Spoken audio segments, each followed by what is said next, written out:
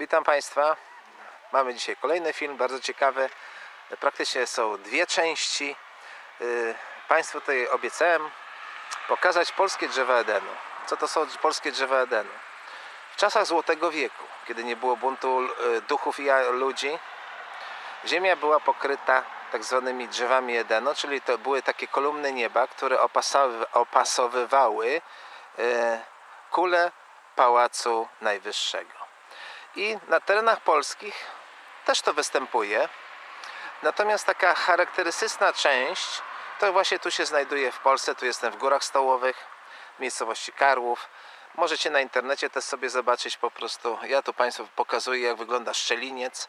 Jest to jeden właśnie z takich typowych drzew Edenu. To ma dobry tutaj gdzieś w granicach długości około kilometra. To była płaska powierzchnia. I to miało wysokości parę tysięcy kilometrów i, o, i było połączone z Pałacem Najwyższego. Czyli to są takie miejsca energetyczne. One do, do dzisiaj są. E, I to wszystko funkcjonowało w czasach Złotego Wieku.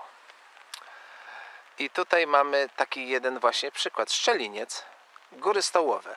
Gdybyśmy byli w innym miejscu, na przykład nad Kłodzkiem, ale przy zachodzie słońca, to byśmy zobaczyli, jak te mm, góry stołowe wyglądają z daleka, z odległości kilkudziesięciu kilometrów.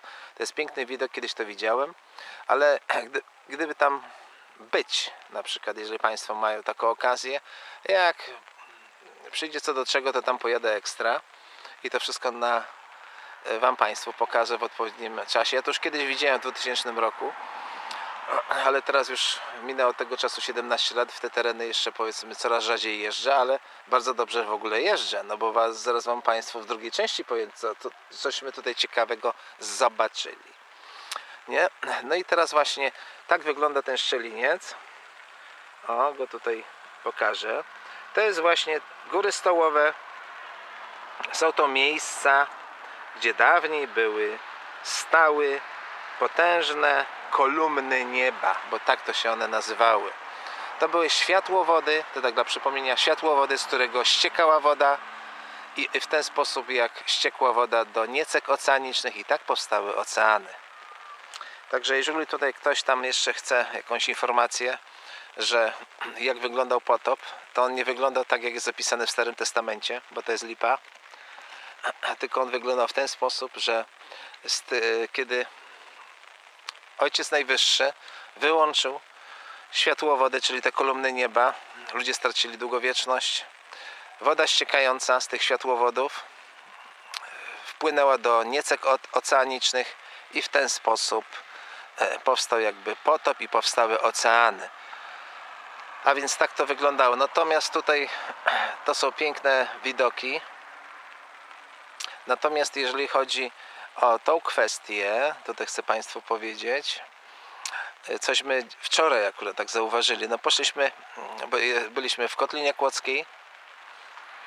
W Kotlinie Kłodzkiej, Kotlina Kłodzka ma to do siebie, że po prostu jak były upały w zeszłym dwa lata, dwa lata temu, dwa lata temu akurat byłem, no to widziałem w tym samym lesie, to nie było żadnych strumieni, ruczajów, y, nie było wody, generalnie było sucho. To nie tylko dwa lata temu, cztery lata temu jak jeździłem, bo ja w te tereny często jeżdżę, to jest południowa część Kotliny Kłodzkiej w okolicach Międzylesia. To co widziałem ziemi ciekawego, y, cały las był nasączony wodą. Tak samo w Międzygórzu, to jest dokładnie to samo. Wszędzie były po prostu, jeżeli były normalne jakieś rzeki, strumienie, no to one były takie powiedzmy na jeden palec. O. A w tej chwili to tam one były zawalone wodą. A cały las był generalnie nasączony wodą. Co chwilę jak się wchodziło tam dwa razy w tym lesie, żeśmy szli właśnie na Trójmorski Wierch, ale do szczytu żeśmy nie doszli, nawet tylko, tylko fragment żeśmy przeszli, kiedy widzieliśmy jak zmieniają się warunki pogodowe. Kiedyś była susza, kiedyś były susze, liczba mnoga. O tej porze roku, czyli to mamy 7, czyli sierpień, a teraz po wszystko jest nasączone wodą, ruczaje, pełno strumieni, co 100 metrów strumień, wszystko szumie, wchodzisz do lasu, a to wszystko szumi. A więc to jest no, przepiękny wideo, o czym to świadczy. Jak już kiedyś były takie warunki, a, a teraz nagle są inne warunki. Dlaczego? bo przyroda już jest regulowana, ale nie harpem, chemtraliami czy innymi rzeczami. Przyroda powoli się odtwarza. Powstają burze. Pytaliście się, że burze są na przykład takie straszne, że to są jakieś anomalie, a że burze są, a więc dlaczego tak uważamy? Znaczy niektórzy uważają, że to są jakby nienormalne sprawy burze. Wiecie co to jest burza? No wszyscy wiedzą, co to jest burza, ale jaki jest ona ma główny sens? Otóż ona niszczy warstwę chemtraliową. Przez lata walczono z burzami, żeby burz nie było, żeby nie było wyładowań atmosferycznych. Z tym wojowano, dosłownie powiedzmy z zaciekłością maniaka. Cały system e, z tym walczył, żeby nie było burz, ponieważ niszczyły warstwę chemtraliową. Jak samoloty przelatywały z opryskami, to burza zaraz to kasowała, a więc trzeba było niszczyć burzę, żeby warstwa oprysków się utrz- utrzymywała. Natomiast teraz tego już nie ma. Burze są po prostu i w Niemczech, i w Holandii, e, w Polsce e, i w ogóle w całej Europie Środniej, w Rosji po prostu padają deszcze i nie ma tej suszy. Dzisiaj mamy sierpień, to powinno być sucho jak pieprz, według starych zasad, ale mamy inne zasady. Ponieważ ja mogę tutaj powiedzieć wręcz autorytatywnie, żyjemy w pierwszym roku złotej ery. O, gdzie przyroda jest sama już się reguluje i rządzi się innymi prawami, ponieważ jest inaczej sterowana. O, może tak to powiem, tak to sformułuję, jest zupełnie inaczej sterowana. I dlatego możemy podziwiać piękną zieleń, w lesie możemy słyszeć górskie potoki, szczególnie w górach w Kotlinie Kłodzkiej, no to, no to słuchajcie, pojedziemy w obojętnie jakie góry, no ale po prostu ja akurat mówię to, co widziałem tutaj w Kotlinie Kłodzkiej, na, na południe Kotlinie Kłodzkiej, w okolicach Międzylesia. To jest dokładnie miejscowość Jodłów, możecie sprawdzić sobie na mapie. No to są piękne tereny, ale to wszystko jest nasączone wodą, a kiedyś była tam susza i to przez lata. Ja tam jeżdżę już od 17 lat. Albo jeszcze można powiedzieć od lat 70. Pierwsze moje wyjazdy były w Kotlinę Kłodzką. Tak to wygląda. A więc teraz idą dobre czasy, lepsze czasy i nie myślcie i nie piszcie mi tam pod filmami, że idą złe czasy, bo idą złe czasy dla hybryd. Ja wam powiem tutaj dynamiczne drgania nawet dochodzą do 40 Hz. Dla hybryd to jest morderstwo, natomiast dla ludzi jest to błogosławieństwo. Ludzie budzą się, coraz więcej mają zrozumienia i cieszą z tego, że idą zmiany. Idą zmiany, one są drobne, jeszcze nie są tak lawinowo widoczne, ale one są drobne. Bo one nie muszą być nie wiadomo jakie. Nie może być chaosu, żeby do kala- z kałaszami latać po ulicach, tak jak mówiłem kiedyś w filmie. A dzisiaj po prostu no, Państwu chcę zaprezentować, tak to są właśnie polskie grzywy Edenu. Jest jeszcze jedno miejsce w okolicach Złotoryi, tam jest dziewięć takich miejsc, e, gdzie jak uda mi się, nie akurat powiedzmy przy tej podróży, może innej, pojadę tam specjalnie i sfilmuję właśnie te miejsca, gdzie są bardzo duże powierzchnie, płaskie powierzchnie właśnie skaliste, e, gdzie stały kiedyś kolumny nieba. O, w ten sposób.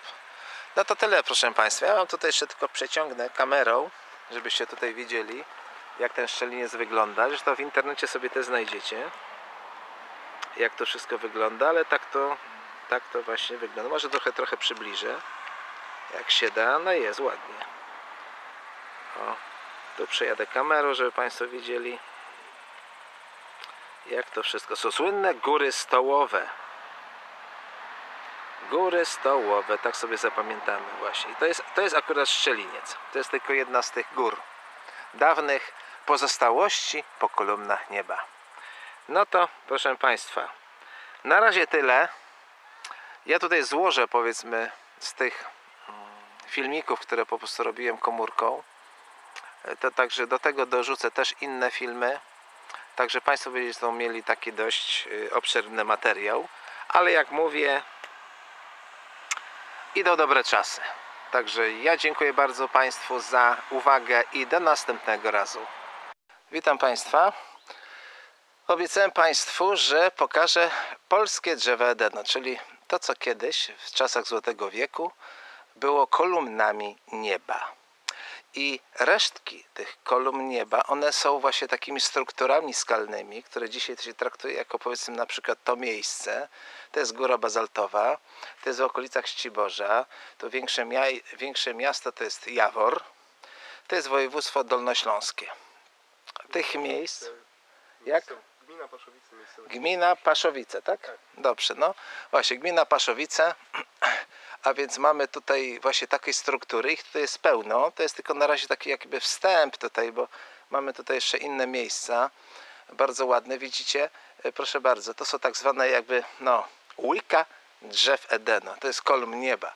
Praktycznie wtedy w tych światłowodach, które opasowały Pałac Najwyższego, zachodziły procesy, na mocy których, kiedy woda zeszła z nich i tak powstały oceany, e, powstały właśnie te struktury, po zejściu wody właśnie powstały struktury skalne.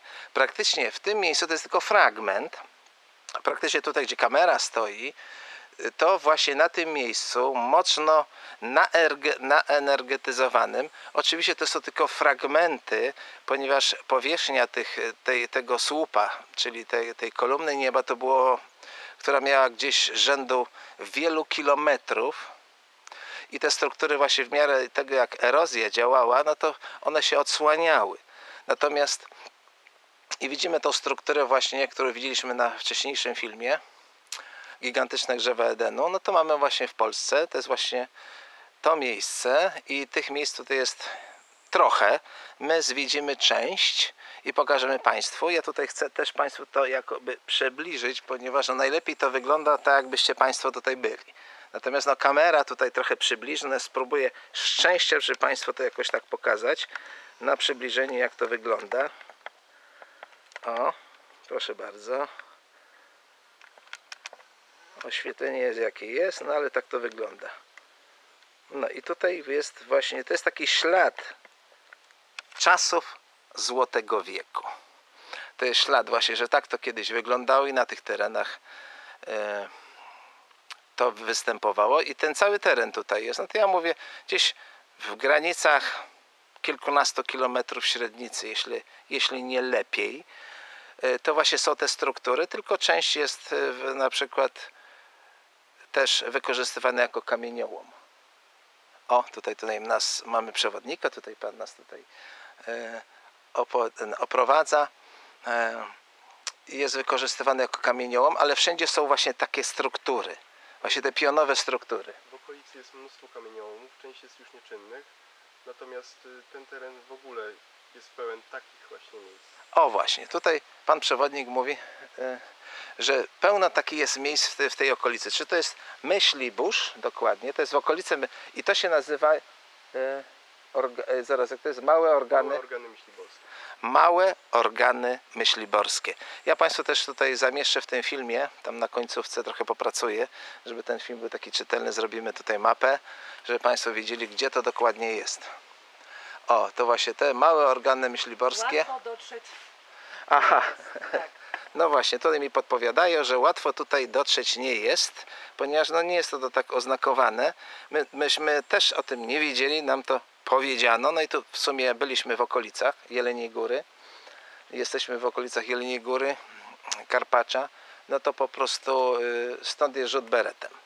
I dlatego, żeśmy tu przyjechali, chcemy Państwu to pokazać. Już to Państwu obiecałem, że będą polskie drzewa Edenu, przynajmniej reszt, resztówka, to jest powiedzmy końcówka tego, co było kiedyś. To, jest, y, to są czasy Złotego Wieku, który dawno minął temu, ale to nic nie dzieje się bez przyczyny, ponieważ idą dobre czasy.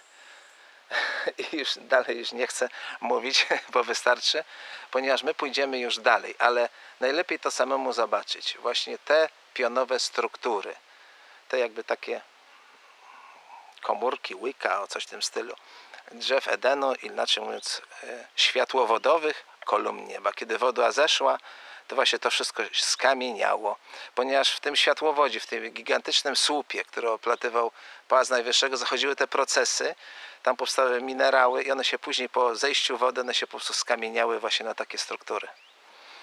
I tak to mamy właśnie polski tutaj akcent tego, że tutaj na ziemiach polskich, tak samo jak wcześniej w górach stołowych, a tamtych gór to jest, wiecie co, na, na przestrzeni 50 kilometrów średnicy, te góry stołowe, a więc tam to są to też miejsca, gdzie właśnie były, gdzie stała kole, kolejna kolumna nieba. O. Także ten film to jest jakby uzu- uzupełnienie tego starego w, akurat w kwestiach tego, coś, co jest takiego na ziemiach polskich.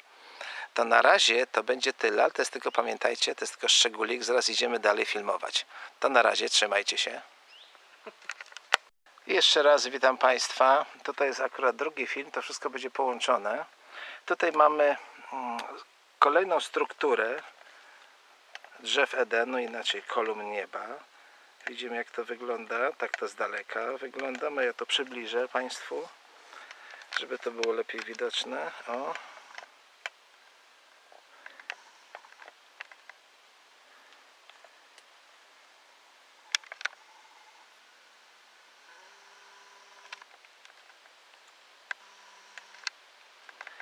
Tutaj, y, co chcę tutaj powiedzieć ciekawego Państwu, że to wszystko znajduje się w tak zwanych górach kaczawskich, bo to jest właśnie to. Te struktury wszystkie są tu w górach kaczawskich. Po okolicy to jest tak zwany sz- szlak wygasłych wulkanów. No to przynajmniej tak, e, tak to jest w Google napisane. Szlak wy, wygasłych wu- wulkanów i to są wszystkie te miejsca właśnie z takimi podobnymi strukturami, nie? No i ja tu Państwu właśnie to chcę to pokazać. O, tu od góry.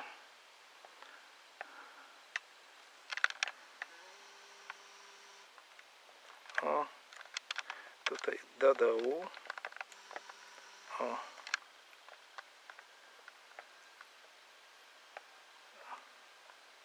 Tak to wygląda wszystko. Widzimy tą strukturę taką charakterystyczną. Tak zwanego łyka, ale to nie jest łyko.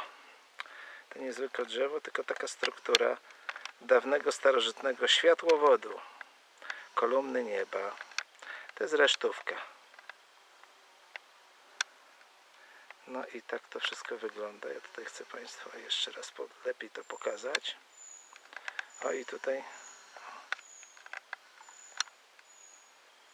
Tu już wiadomo, że część tej struktur to już erozja tutaj swoje zrobiła bo to widać. Ale struktura została. Struktury zostały. No i tutaj jest właśnie to miejsce. Czyli ja tutaj gwoli powtórki chcę Państwu powiedzieć, że znajdujemy się w górach kaczawskich. Miejscowość Myśli-Busz, RZ na końcu. E, To jest gmina jak? Gmina Paszowice. Y, Większe miasto to tutaj jest Jawor. Jeszcze dalej to mamy Legnice. O, dokładnie tak. To są te, te tereny dolnośląskie, województwo dolnośląskie. Teren jest taki, e, owszem, tutaj jest trochę gospodar- gospodarstw agroturystycznych, ale generalnie tutaj ludzi nie ma. Ale jeżeli chodzi o oglądanie takich rzeczy, no to oglądają ci, którzy wiedzą. No teraz dzięki temu filmowi, filmu, no to trochę więcej osób obejrzy te tereny, ale my zrobimy tutaj dla Państwa mapkę, żeby było wiadome, gdzie to wszystko jest.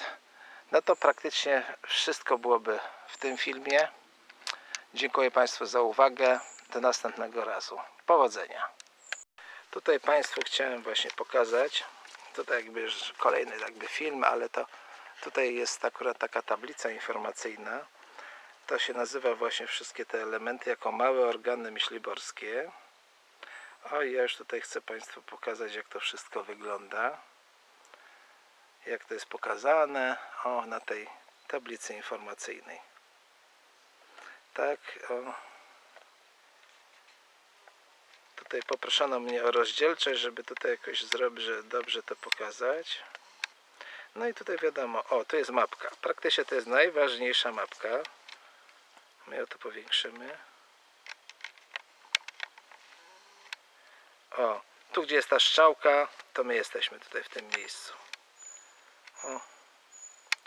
Teraz już tą mapkę tutaj powiększę.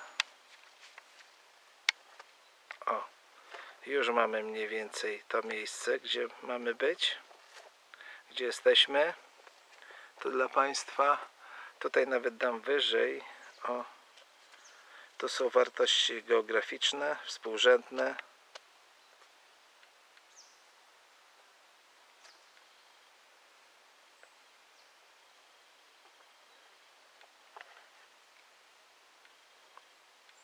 O.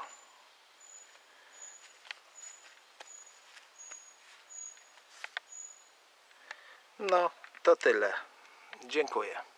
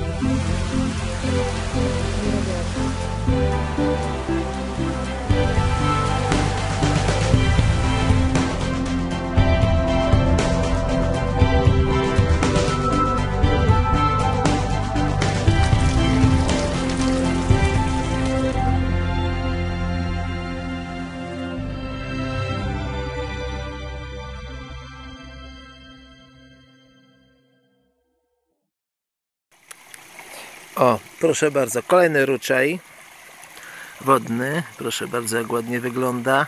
A cały las to jest nasączony wodą. I tu nie chodzi o deszcze czy jakieś porę roku, bo one normalnie tutaj teraz padają. I ten teren zawsze był suchy lata temu, jak tutaj jeździłem. A teraz to jest wszystko zawalone wodą, a cały las jest wilgotny. A więc idą dobre czasy. Przyroda się odradza. Aż przyjemnie popatrzeć. No i tak samo to nagrywać, nie? Kiedyś byłoby całkowicie, jeszcze dwa lata temu byłoby to wyschnięte, bo tędy szłem. Tutaj nie było w ogóle strumieni, wszystko było suche. A teraz proszę bardzo. Co 100 metrów jest ruczej.